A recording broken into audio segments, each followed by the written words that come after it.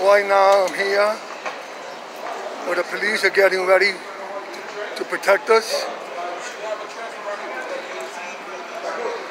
Got the police here now getting ready to protect New York City. I think they're having now getting ready for a protest.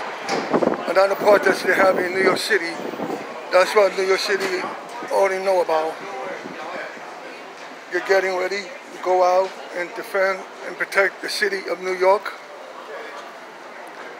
I was told that they're going to be having another protest. They're waiting where at is going to be the protest. So I support the NYPD. I support them. They're out there, they're out there.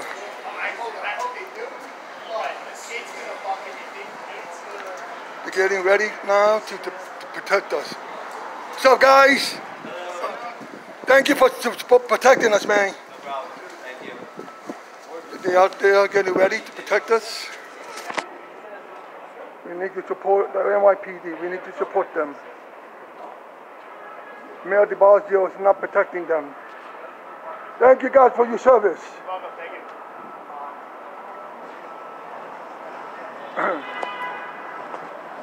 They're out there defending New York City, defending us from those criminals that are destroying New York City. Mayor de Blasio don't give a crap about them. But come on, New Yorkers, we need to support the NYPD. We need to protect them, pray for them. Thank you guys for your service, man. Thank you much. Appreciate it. Thank you. I'm backing you guys up. Thank you, man. We appreciate that. Officer, thank you for your service. We need to protect them. We need to back them up. We need to protect them as much as they can. Officer, thank you for your service, man. Thank you, sir. Thank you very much, sir. We're here for you. Like I said, they're out there. They're getting ready to attend the protest. And of course, next month is Columbus Day, so you know they're going to be plenty of cop, plenty of cop here to protect the statue of Christopher Columbus. And they're out there still protecting the statue. Plenty of cops around here now, plenty of cops.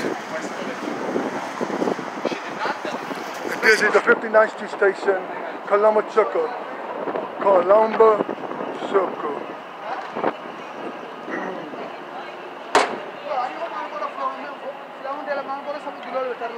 So like I said guys, let's support the NYPD because Mayor de Blasio don't support them. And guess what I found out? This is Mayor de Blasio last term. Next year is time to vote for a new mayor. Let's vote Republican. Let's put a Republican in mayor for New York City. That's what New York City needs, a Republican mayor to stop all this stuff that's going on, you know.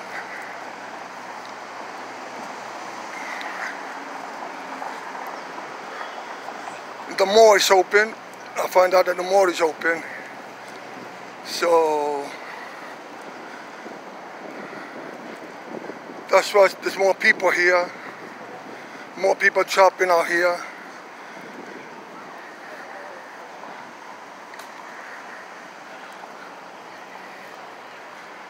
I'm glad I came out to see the NYPD.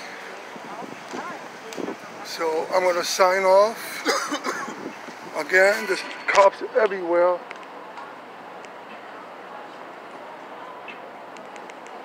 Not a police patrol.